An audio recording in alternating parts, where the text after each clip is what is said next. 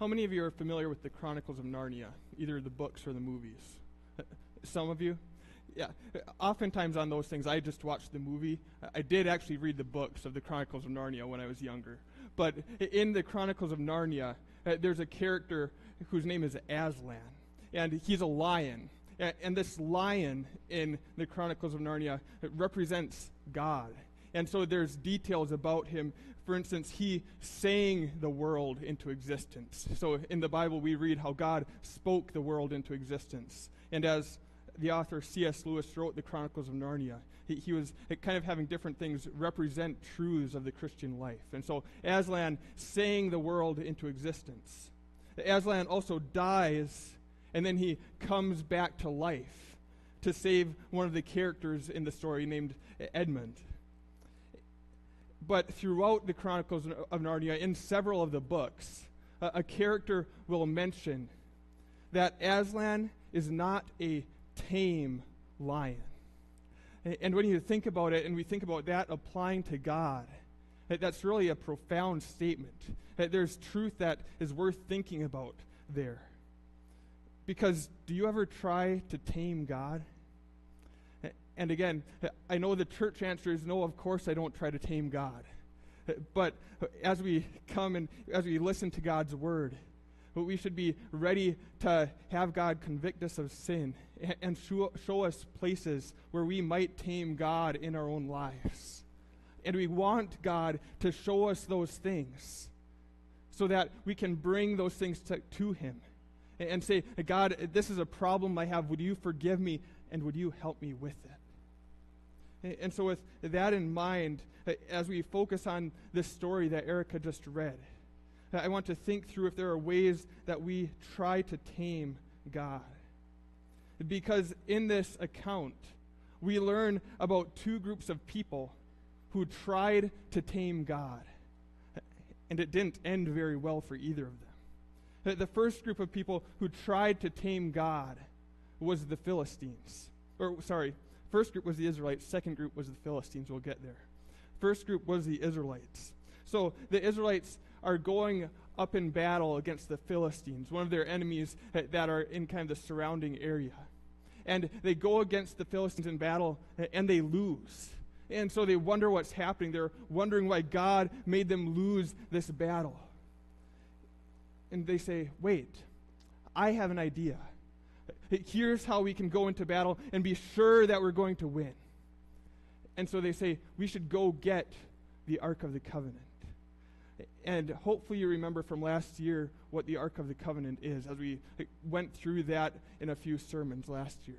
But you'll remember that as the Israelites were traveling from Egypt to the Promised Land, God had commanded them to make basically this big tent called the tabernacle uh, that served as the temple. And it was portable, so they were able to move it from place to place as they traveled. And that tabernacle had two different rooms in it. Uh, the first one was the holy place, where priests would enter on a daily basis and perform certain duties as they worshiped God. But the second room was called the Holy of Holies. And that was where only the high priest could enter only once every year. And he would come and he would sprinkle blood on the mercy seat, it was called, uh, of this Ark of the Covenant. And the reason he was only able to enter once per year was because God had God was present in a special way connected to this Ark of the Covenant. That some authors can refer to it as being God's throne seat. That that was where God's presence was there in a special way. And so people could not just approach God's presence as they were sinful and he was holy. They weren't allowed to just come in there. But instead, God allowed the high priest to once a year, in a very specific way, come in there. And so that was the Ark of the Covenant. God's presence was attached to it in a special way. And so the Israelites decide, you know what? Let's bring that Ark of the Covenant into battle. Uh, then surely we will win this battle. And so they do that. They bring it into battle. But instead of winning the victory, Instead, they lose in a terrible way.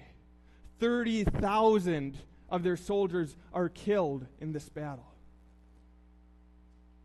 And then, if you remember from last week, the, the priest Eli, who had these sons who really were bad priests, who were really disrespectful to God, Hophni and Phinehas, they also die in this battle. And the Ark of the Covenant is captured by the Philistines. So they've lost the battle, they've lost the Ark of the Covenant. And then just kind of wrapping up the story from last week. Remember, the message that God gave to Samuel was that God was going to bring judgment against Eli and his sons. And so Eli, he hears about how bad the battle went. He hears that his sons died. And then uh, he hears that the Ark of the Covenant was stolen. And, and he knows how bad that is. And in response, he, he falls backwards in his seat and breaks his neck and dies. So we see God's judgment that was predicted come on Eli's house. But what happened in this situation? Why didn't it work to bring the Ark of the Covenant into battle? Well, you could say that the Israelites were trying to tame God. They thought that they could just command God to do what they wanted him to do. Considering that they lost that first battle, we can probably assume that at that time in their history, they really were not serving God. Likely they were serving and worshiping other gods, but they also kind of still believed in the one true God, and they thought, you know what, we're having trouble, let's bring him in to help us. And so they thought that they could use God like a good luck charm. But God, in this situation, made it very clear that he would not be their pet God would not be their genie.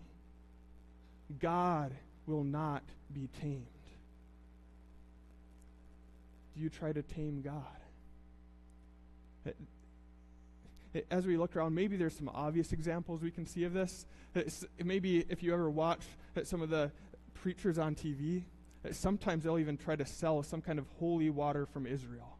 That you, you order a little vial of it. You get water that comes from Israel, and it's supposed to do something special for you. That'd be one example of trying to tame God, saying this water is going to do something special when the Bible says nothing about it. That'd be one example. But there's probably less obvious examples that we fall into sometimes. Maybe some of you have seen either Facebook messages or emails that they're forwarded to a bunch of people and they'll say something about God, and then they'll say, and if you forward this to all your friends, you will be blessed. And so there's this idea if I can just kind of do this, if I can forward it to other people, then I'm going to be blessed. And that seems like a way we try to tame God. Basically, kind of making up ways that we can make God bless us.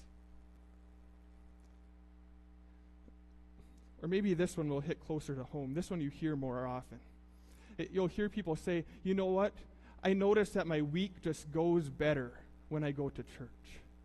Or maybe it's, I notice that my day goes so much better when I do my devotions. And if I don't do my devotions, my day is just uh, in trouble.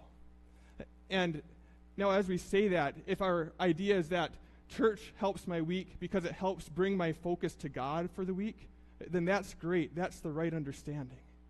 But sometimes it's worded kind of like it's this good luck charm. I went to church and now my week's going to go smooth. It's going to go how I want it to go. And so the focus is on us instead of the focus being on God. Uh, we also do the same thing with Bible verses. Uh, Philippians 4:13, a lot of you are probably familiar with it. I can do all things through him who strengthens me and that verse should be an encouragement to us. But how is it often used? You'll see football players quoting this verse for why they're going to win the football game. You see people quote this verse for why they're going to be successful in this area of their life or that area of their life. Have you ever read what was going on in Paul's life when he wrote this verse? He was talking about how he had learned to be content in all circumstances. He had learned to be content when he had plenty of food and when he didn't have enough. in the good times and in the bad times. And so that verse is about how God will help us through difficult times as we serve Him. But instead, we make that verse about us and about getting things that we want and about our lives being comfortable. And so we try to tame God. And we make following Jesus about us living the good life instead of about us serving him. Then there's Romans 8:28 which says, "And we know that for those who love God, all things work together for all things work together for good for those who are called according to his purpose." And again, that should be a wonderful encouragement to us. But so often our idea of what is good for us is different than God's idea of what is good for us. And so we have this idea that God, again, is going to make our lives successful, He's going to make our lives comfortable. When often He's more concerned about making us more like Him and making us depend on Him more. Uh, the same could be said of that statement God loves you and has a wonderful plan for your life. He, he absolutely does have a wonderful plan for your life, but it's probably not the wonderful plan that you have. Sometimes we try to tame God with worship music. Music because of, it makes us feel a certain way. And in some churches, there's kind of even been this battle over new music and old music. And both sides are kind of arguing because they like one style of music better than the other. And so, worshiping God, focusing on God, instead becomes about focusing on yourself and your experience. We probably do this with confirmation classes sometimes. If I can just get my grandson through confirmation classes, then God will let, have to let them into heaven. And yeah, they might turn away from Him the rest of their life, but at least they got through confirmation. And so we try to tame God. We make confirmation into a good luck charm. Or we do that with communion. And maybe I've got, maybe I'm off on this, but I've gotten the sense from some of you at times that you really want your relatives who aren't really following God, you really want them here at services on Christmas, on Easter, so that they can have communion. And don't get me wrong, that communion is a beautiful gift from God as we receive his body and blood for the forgiveness of sins. But if you're bringing your relatives who are not walking with the Lord, hoping that somehow it's going to be a good luck charm for them, you're trying to tame God and it's not going to work. Instead, God says that for those people, instead, they're taking judgment on themselves. Taming God doesn't work.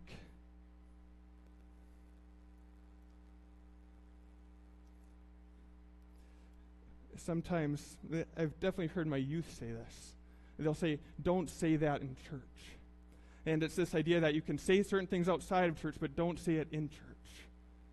And there's probably the adult version of those types of statements too, that we behave differently here than out there. Like somehow God doesn't see us out there. And so we try to tame God. And this can be the case even when we pray for people when they're sick definitely God invites us to pray for people. He invites us to pray for healing. But often we can be ignoring God the rest of our lives, but then suddenly someone gets sick. And it's time to it's time to pray. Or you'll see even statements in common culture where people who don't even seem to have a faith in God say, We're sending our thoughts and prayers to you. Whatever that means. And so suddenly prayer becomes a good luck charm to trick God into healing someone we care about. And in all of this, we end up treating God like a vending machine. You know, the ones where you push, you, you see the candy bar you want, and it's got a number next to it. So, like B6. So you push button B, and then you push, push button 6, and you receive what you want to from the vending machine. And we start to think that if we just push God's buttons right, He'll give us what we want in our lives. I scratch God's back, He'll scratch mine. And so, is your faith about you and a comfortable life, getting what you want from God? Or is your faith about God and His glory? Do you try to tame God? The Israelites tried to tame God, and 30,000 of them died because God will not be tamed. So that's the first group of people that tried to tame God, the Israelites. Then the second group is the Philistines. You see, the ark was captured in that battle, and the Philistines take the ark of the covenant to one of their temples, where one of their main gods, they worshiped many gods, but one of their main gods was in this temple, this statue named Dagon. And so they bring the ark into the temple, and this was a common practice in battles at that time, because it was kind of the idea that, see, our God was more power, or our gods were more powerful than your gods, was kind of the idea. And so they would bring the enemy's statues or their idols or whatever into the temple of their God. So they thought that their God had ta- tamed the Israelite God, he had defeated him. But they didn't understand that the reason the Philistines were victorious was not because their god Dagon was so powerful. No, instead, the one true God had fought against his own people because they tried to tame him. But even as the Philistines bring the Ark of the Covenant into this temple, God shows that he will not be tamed. You see, the next morning, their idol, this statue Dagon, has fallen on his face in front of the ark, like he's bowing down to it. Uh, and so they pick it up, they put him back where he belongs, and then leave it for another night. And then they come back and they find that he's fallen down again the next morning. And this time it says his head and his hands were also cut off. And again, that was common practice in battle. You might remember David and Goliath. We'll talk about that in a few weeks. But after David killed Goliath, he cut off his head. That was a common thing in battle as you showed that you were victorious. And so here God is showing that he is victorious over their false God, that their God Dagon has no power. God is showing that he will not be tamed.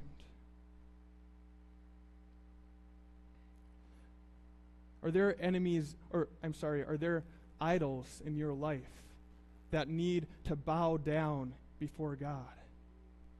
You see, the Philistines viewed the God of the Israelites as just one of many gods. They, and so, how the Philistine religion worked was they worshiped certain gods to help them with certain things. And sometimes we kind of do the same thing. When you try to tame God, you only let him be in charge of certain parts of your life.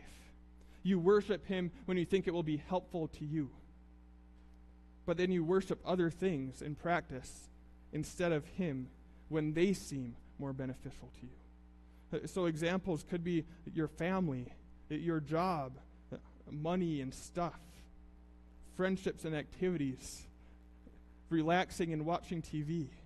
All of those things that can be good things. But do you end up bowing down to them? believing that those things can somehow give you what you truly want in life. Notice how the Philistines, after this happens, you'd think they'd say, Oh, I, I, guess our God isn't powerful. Maybe we should worship this Israelite God. Look how powerful he is. But they don't do that. They stubbornly continue to worship their false God. And again, we do the same thing.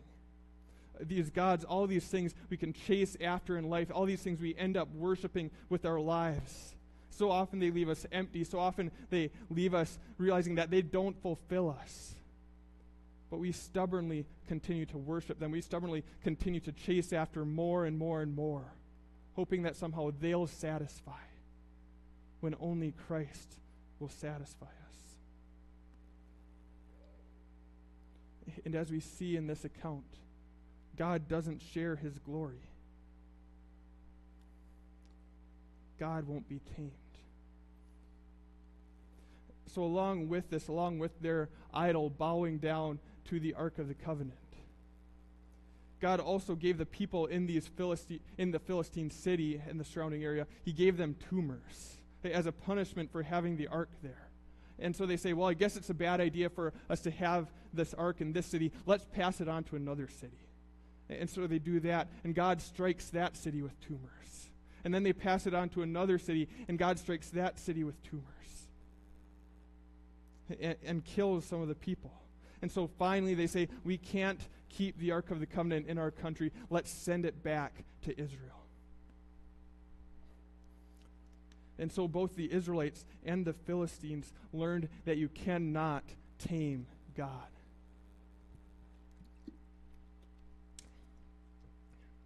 And then, even once the ark was returned to Israel, as the Israelites had it now, God struck 70 Israelite men dead because they didn't respect the Ark of the Covenant how they had been commanded to.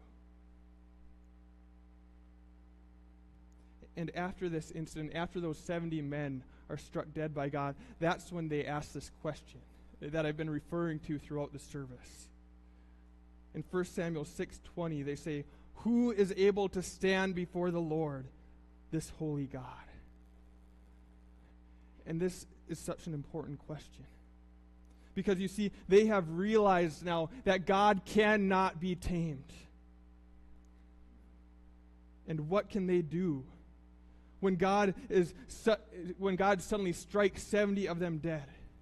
They can't protect themselves from a powerful God like this. What chance do they have? The answer is that they don't have a chance and neither do you. You see, when God struck all those people dead because of how they handled the Ark of the Covenant, God wasn't just having a crabby day. He didn't just lose patience one time. God wasn't just being the mean God of the Old Testament and then we get the nice God in the New Testament. No, God was giving them the punishment that they rightly deserved. In our minds, it seems a bit over the top, doesn't it? But it's a reminder uh, of how serious it is to be in the presence of God as sinful people. God was giving them the punishment that they deserved.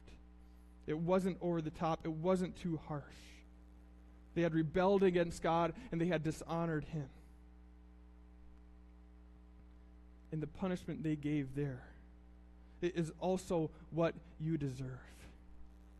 You have tried to tame God. You have made your faith about yourself instead of about Him. You have not treated Him with the respect that His holiness and His power deserve. God could strike you dead at any moment, and you would deserve it. And there's nothing you can do to stop Him before this holy God who cannot be tamed, you don't have a chance. So after they ask this question, who is able to stand before the Lord, this holy God? Then the people of that Israelite city decide to have another city come and get the ark from them. They don't want it to be around anymore. And you'll even remember how the Philistines, they kept passing it from city to city because they were fearful of the presence of God. when God showed his power and holiness, when he punished people for not handling the ark correctly, the response was that they wanted to get it away from them. Running is a natural response to danger, isn't it? Getting away from the danger is our natural response to danger.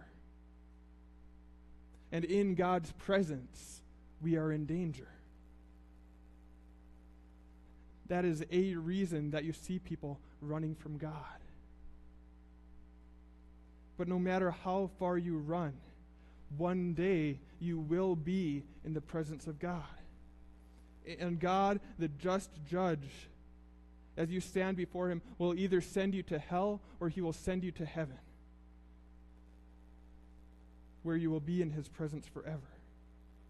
So as you stand before God, the judge, there's no way at that point that you're going to tame him You won't be able to offer him a trade.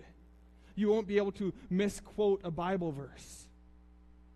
You won't be able to say a special prayer or promise to attend church a little more often. You see, you're not going to fool God.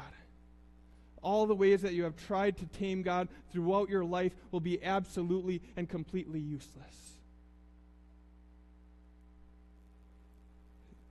And so, where does that leave us? What chance does that give us? Well, you see, here is the crazy thing. This holy God who cannot be tamed wants you to live in his presence forever. How can this be? How can it how can a holy God let sinful people like you and me, disobedient, rebellious people, spend eternity in his presence, looking at his glory? How can that be? Remember, he is not a tame God. And so, in order to save us, he did something that seems wild. It seems reckless. It definitely was not tame. This God sent Jesus to walk in the presence of sinners. We cannot be in the holy presence of God, but God came down and walked in the presence of sinners. And then God died to save those sinners. And so understand this. When Jesus died on the cross, he didn't tame God's wrath. He didn't make God softer on sin. No, all of God's wrath, all of his judgment, all of his punishment for all of your sin was put on Jesus. God's wrath wasn't tamed, it was just put on Jesus instead. And so when we understand this, how can we make our faith, how can we make our lives about ourselves? How can we try to tame God for our purposes? Our faith, our life is all about the one who has saved us in such an incredible and amazing way. Christ took all the punishment that you deserve for all of your sins all the sins you have committed and all the sins that you will commit. And if you're believing in Jesus here today, and I should say, if you're believing in Christ here today, there could be some people here even now who have attended church many times but realize you've been trying to tame God. You've never really understood how serious your relationship with God was. You've never understood how serious your sin was to God. And so God is inviting you now to trust in Christ and what he did to save you. Because as you believe in Jesus, then you don't have to worry that God is saving some punishment for you later on. Because all of that punishment was placed on Christ. And you will continue to sin every day. But you don't have to fear being the, in the presence of our holy God. Instead, you can know that you are perfect because Jesus, that God sees you as perfect because Jesus was perfect for you. That is how you are able to stand before a holy God. And so then when you think of standing in the presence of God, you don't need to fear anymore. Instead, you can have complete confidence. You can have joy as you stand before God. And know that one day in heaven, you will be in God's complete, beautiful, glorious presence. And as we are in His presence, that is what will truly satisfy us forever.